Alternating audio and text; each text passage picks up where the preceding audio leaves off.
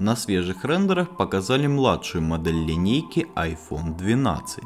На сегодняшний день самым бюджетным устройством является iPhone SE 2. Но с приходом линейки 12 айфонов это может измениться. Младшие модели iPhone 12 предписывают дисплей диагональю 5,4 дюйма. Компактно, еще и с 60 Гц у экрана. Новая версия iPhone 12 Pro получит экран диагональю 6,1 дюйма, как у iPhone 12 Pro. А вот старшая версия iPhone 12 Pro Max получит экран диагональю 6,7 дюйма. Рендеры смартфона неофициальные, но в высоком разрешении и с водяным знаком Leaks.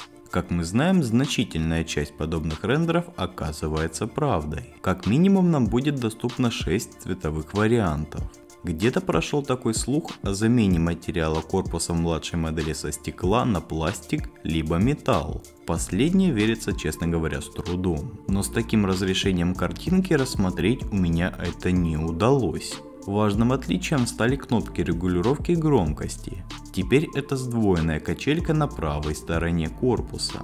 А вот видимо ползунок мута останется на левой стороне, если вообще останется. На рендерах этого не видно. Росянг заявил, что смартфоны iPhone 12 Pro и 12 Pro Max получат экраны с частотой обновления изображения 120 Гц, как например смартфоны за 300 долларов в этом году. Также источник отмечает, что в линейке 12 экрана с частотой обновления изображения 120 Гц получат только iPhone 12 Pro и 12 Pro Max. iPhone 12 Pro Max будет отличаться еще минимум по двум пунктам. Корпус его будет толщиной 7,4 мм, по сравнению с корпусом 8,1 мм у iPhone 11 Pro Max. При этом емкость батареи вырастет до 4400 мАч.